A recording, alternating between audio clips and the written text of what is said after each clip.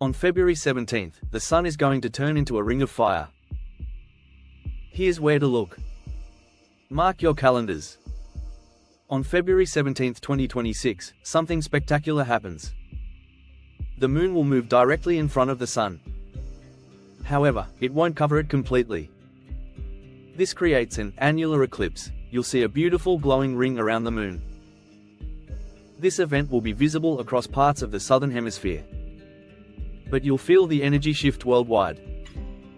It's the first of two major eclipses in 2026. Imagine watching the sky transform into a fiery circle. It's a sight you don't want to miss, so remember, February 17, 2026, Ring of Fire eclipse.